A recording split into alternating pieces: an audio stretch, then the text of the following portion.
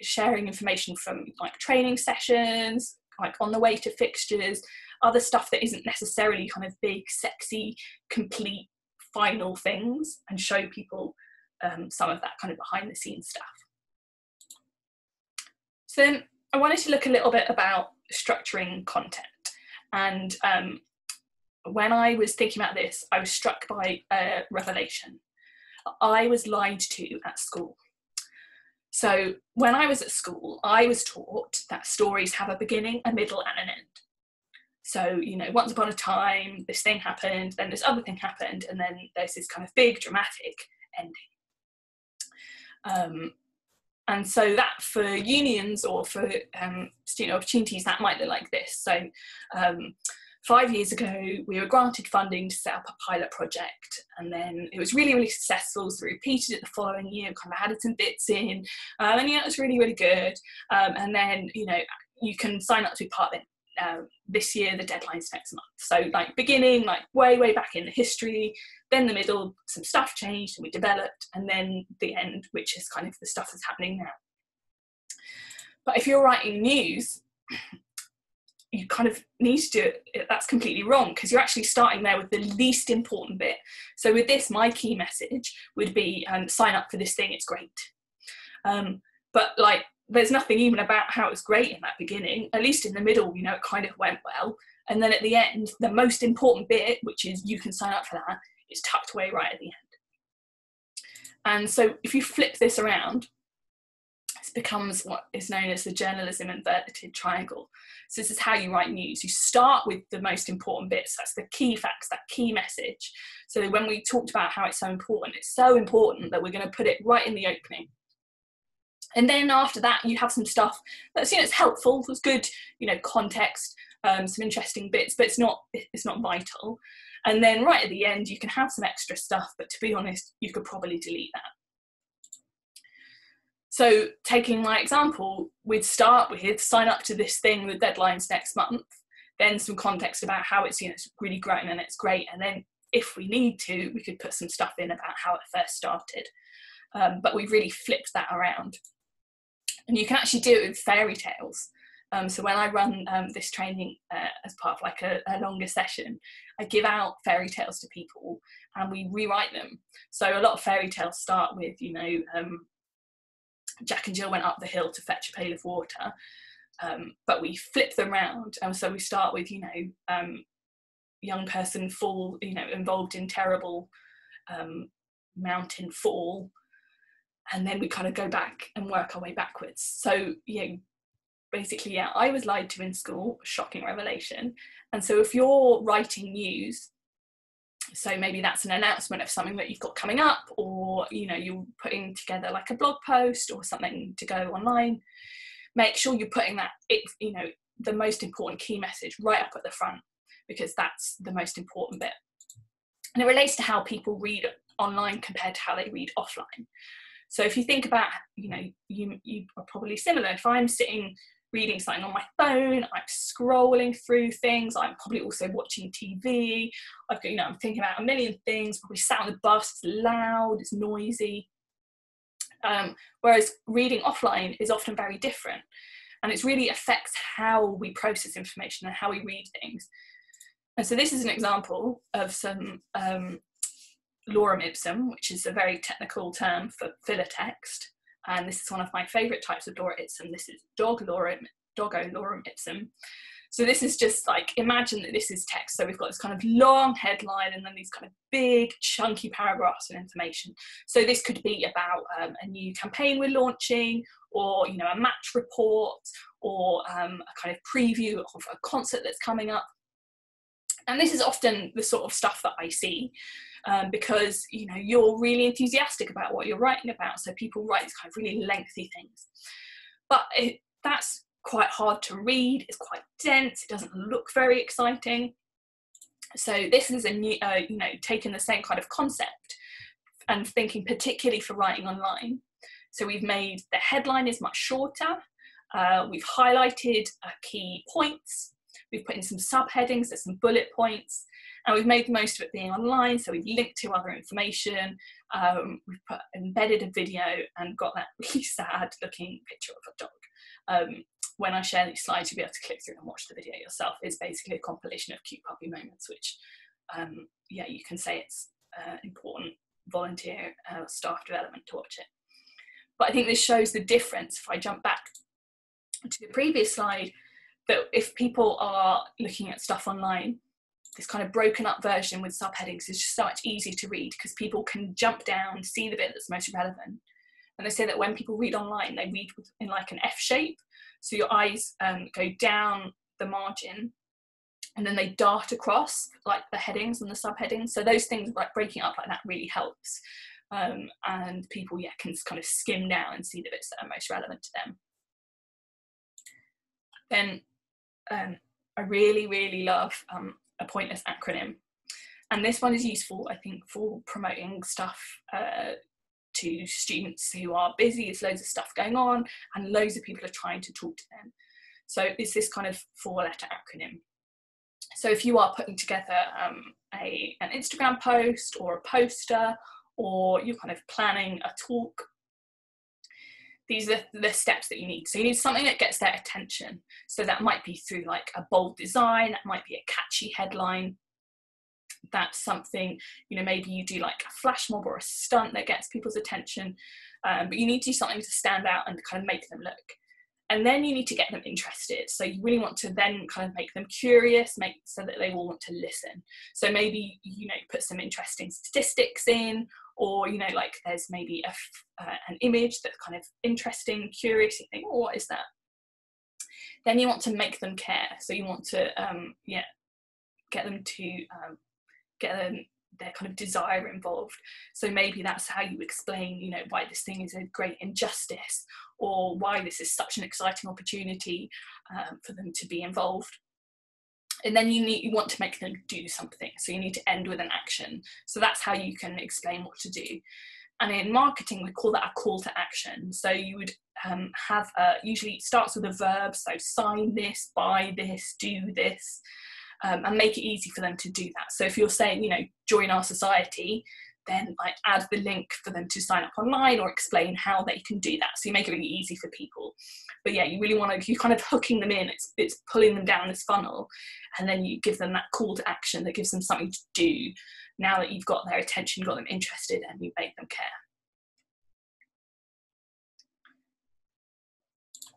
And um, one thing I like to do with people, uh, um, so I've got this challenge for you, and you can answer in the um, chat box. Uh, if you make sure it's saying all panelists and attendees, basically, I'm going to perform a song for you. Did do music A level, that will not be noticeable from my performance. But yeah, I'm going to perform this song, and you definitely know it. And so the challenge for you is when you know what this song is, um, put it in the chat box and you you definitely know this song. Everyone knows this song. It's really really obvious. Um, so here we go. This is quite embarrassing. I can't believe I'm about to do this. But anyway, here's my performance. So yeah, when you know what the song is, pop it in the chat box um, for everyone to see. So here we go.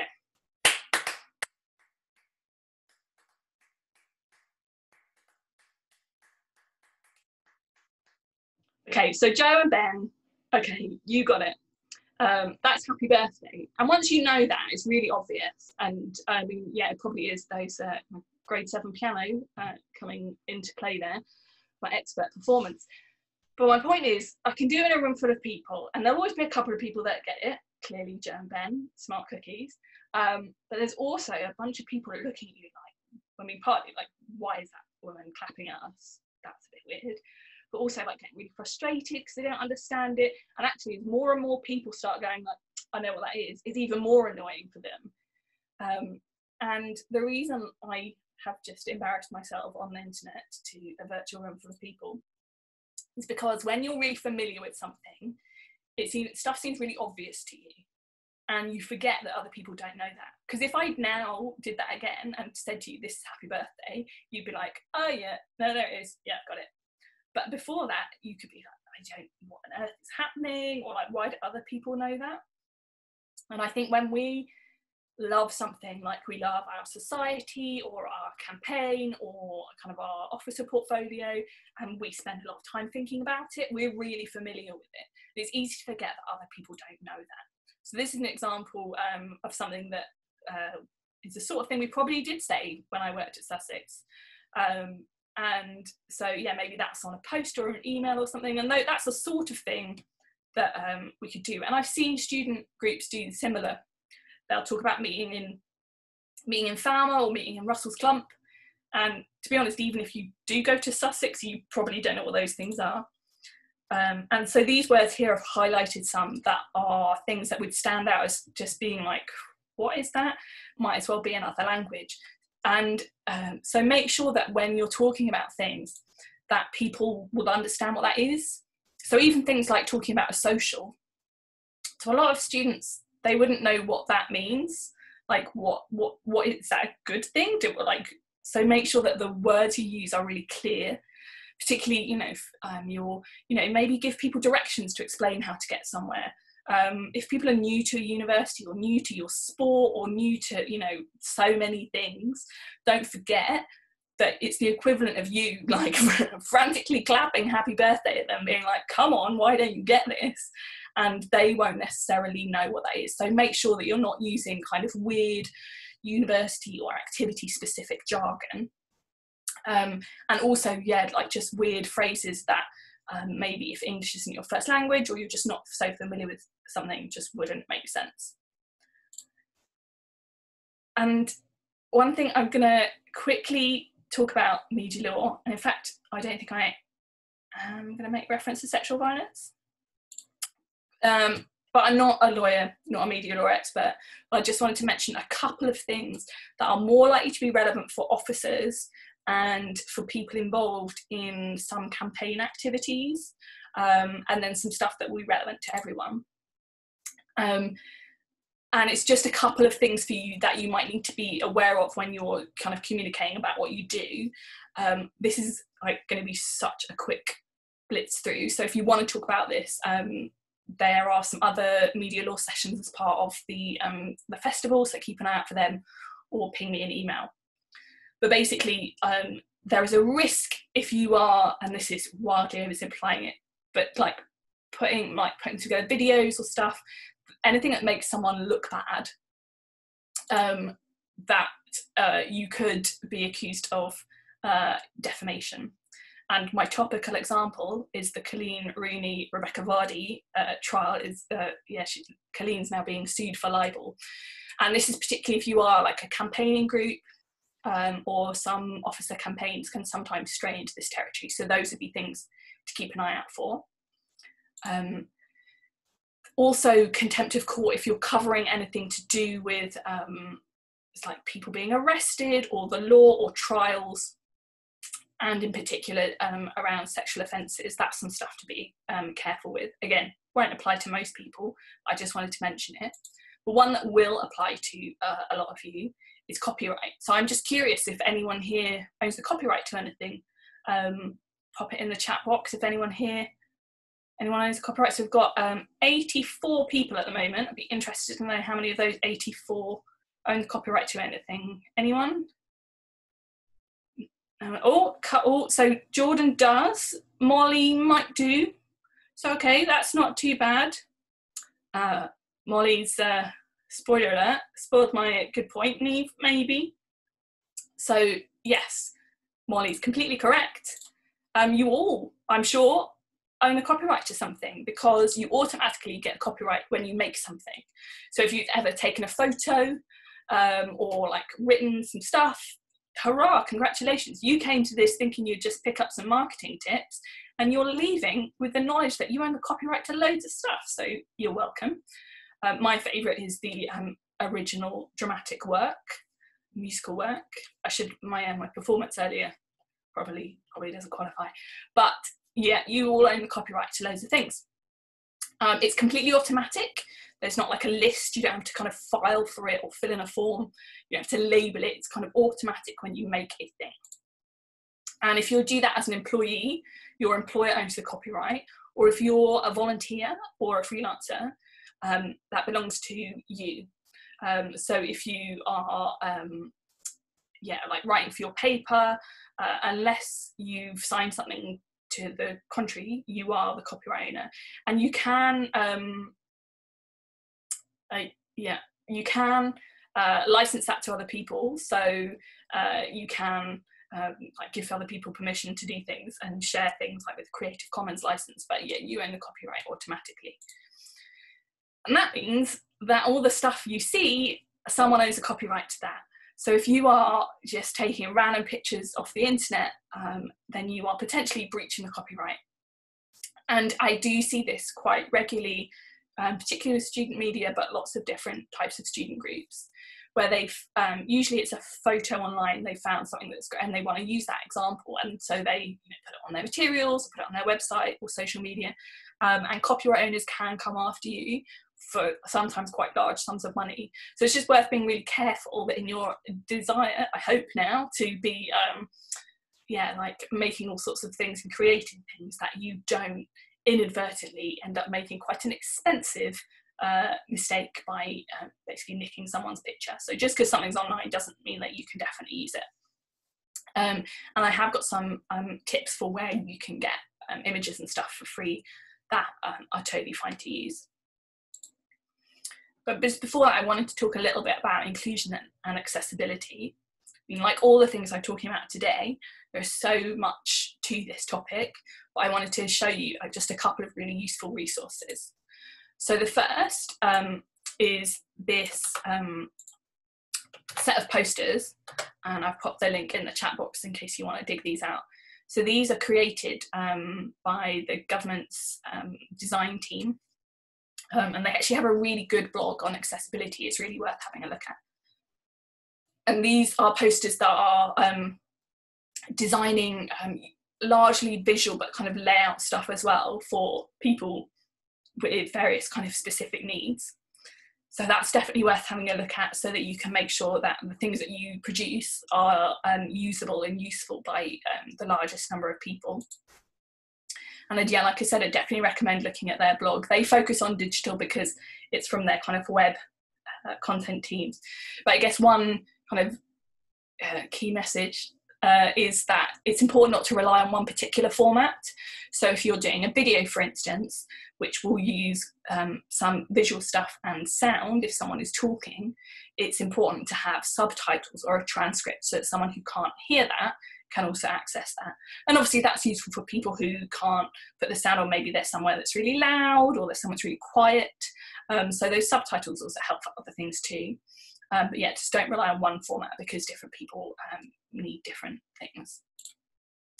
And looking more at kind of lang- the language and images we use, obviously we want to make sure that we're you know avoiding assumptions and generalizations and you can do that through you know using inclusive language and images and again there are some um, examples there of different image sources because sometimes when you look at like stock photo collections um, you find they're not very diverse. They they feature a kind of you know a very specific type of person.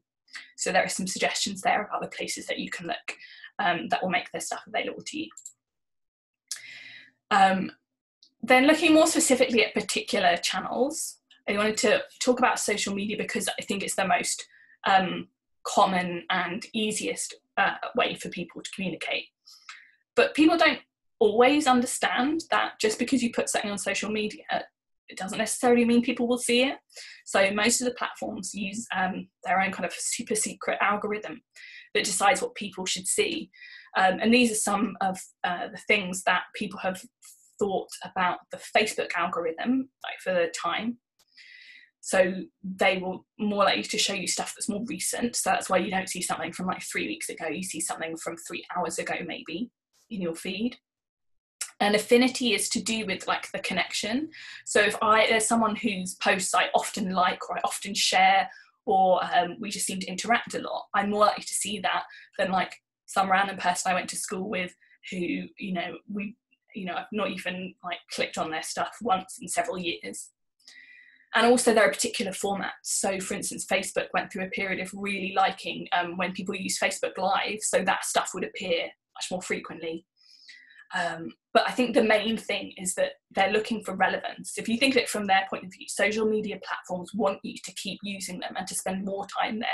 So they they think that if they show you stuff that's really relevant to you, that you'll like, that's yeah, that kind of connects to your interests, then you'll spend more time there. So that's why this idea of being really relevant, which I started off talking about, is useful here as well because that's what is going to show your stuff to more people.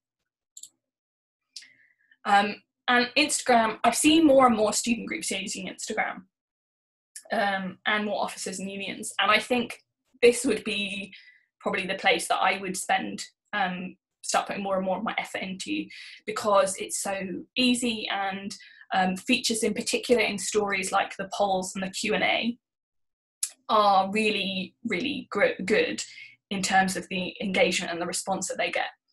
So I definitely encourage you to try those because you could put the same kind of question maybe on Twitter or on Facebook and probably get nothing. So you put it in an Instagram story and you'll get you're more, far more likely to get responses and input from people. And the visual, because it's obviously like a really visual um, platform, it doesn't you know doesn't rely on people having really uh, kind of confident use of English. So it's uh, a bit more inclusive in that way as well. And I think it's worth trying things like paying some money for adverts. I definitely, this is something I encourage unions to do because it's really effective and targeted. But actually, if you know, if you would have spent money, particularly pre-COVID, on like getting some posters printed, you could spend the same amount of money, or probably less, on some targeted adverts, and then you know how many people are seeing them. You know, um, it's just people from your university or your college um, because it allows you to target and say, yeah, I only want to show this to people who say they're at my university, or I only want to show it to people who are interested in football. Um, and you really don't have to spend much money. You can, you know, you could spend like three pounds. We're not talking like massive budgets, but that's really effective. Um, so I think you could try it.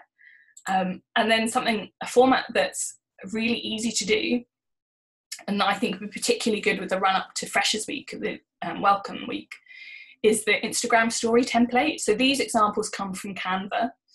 Um, so you could fill in your own things, but maybe, you know, put, if you are a, um, a music group, maybe you could, li- you know, have something where people list their favorite bands or their favorite um, gigs they've ever been to, their favorite songs. It's a great way for people to get to know you and your group. It's um, another way to help people connect with other people with that same interest um, and yeah, meet other people. So that format I think would work really well and is really easy to do. And I promised you some stuff for on um, different images. Um, so these are some good examples. So Canva has stuff built in, um, or Unsplash is a really good website to use for free stuff. That's where I get my that's where I get my dog pictures from. There is a sentence I never thought I'd say in a professional context. Um, but obviously, because we said you get the copyright of anything that you make, another easy option is to take your own photos. And if you are doing that, um, quite often, you know, people will stand, you know, on the sidelines or kind of at the back of something and try and really fit everything into their photo. Actually, I think often the best photos come when you kind of go in close and find where the action is um, and go for a close up of something rather than a kind of big empty hall or a big empty um, space. So go to where the action is, go for that close up. And if you um, have the option, daylight photos are normally the best ones. And you really don't need fancy equipment. Um, so you, it's totally fine to take pictures on your phone. Um, if you want to get it fancier, maybe get a tripod so that stuff isn't kind of wobbly. Um, you can get a, a reflector to help kind of bounce some light around you could maybe um, switch up to like a proper camera, maybe a proper camera with some nice lenses. Maybe you can be super fancy and get some proper lights in. And to edit stuff, again, you can do that on your phone. You could, you know, just edit stuff directly in Instagram um, or other apps. There's stuff online. Um, and there are things, it's worth checking to see if you get any free um, software through your university as well. Um, I know certainly at Sussex, um, students have access to uh, kind of things like the Adobe Suite, so it's worth checking those out um, to get some free stuff. And similarly with video, that's such a good tool. Again, particularly now, particularly now it's you know we can't really see each other in person. Video is a great way to really like demonstrate what you do and to introduce people. And you really don't have to be afraid. It doesn't have to be technical. So um, I don't know if you'll remember this example, but I really liked um, the videos that Rory Stewart made as part of the Conservative leadership campaign. So these were really short videos who had subtitles. They were clearly shot on a phone. They were pretty wobbly. They were not like high production value things but they you know they were about him and talking to people and to you know going to where people were and talking to them and they felt really authentic in that way. Um, and um, i will share a really good article that talks about how they work really well as well. I'll dig that out. Um, and again with video equipment it really doesn't have to be fancy or expensive. Um, you can just use your phone. A tripod is handy if you're doing video just because yeah you don't get that kind of wobbly stuff happening um, maybe you can get a little uh, cheap microphone and plug it in. And again, you can kind of work your way up to use more um, fancy equipment if you want. I really hope there aren't any like student TV people watching this going like, she is so wrong. Um, but if you are editing stuff, just basic things like iMovie on your phone or KineMaster, um, you can work your way up to fancier formats if you want. Um, and often actually you can do, particularly with video or animation, you can find people who can do stuff like really cheap and kind of uh, adequately well on places like Fiverr to do stuff for you. So I just wanted to wrap up with a few um, design bits um, because I think there are some basic design principles that you can learn. You really don't have to be like some super creative person to make um, some kind of clear and useful um, graphics for people. Um, so Canva, which is the online software, which is really good and free um, to do design, they have their own design schools, so you can um, learn basics from them. And they have um, their own kind of templates. These are some examples uh, that are available completely for free. And then you can use these in creative ways. So, for instance, maybe you could make some virtual backgrounds for people. So, yeah, they can't. You can't have the kind of uh, normal match day atmosphere, but maybe you could have um, you could all share the same background, and it's then it's like you're being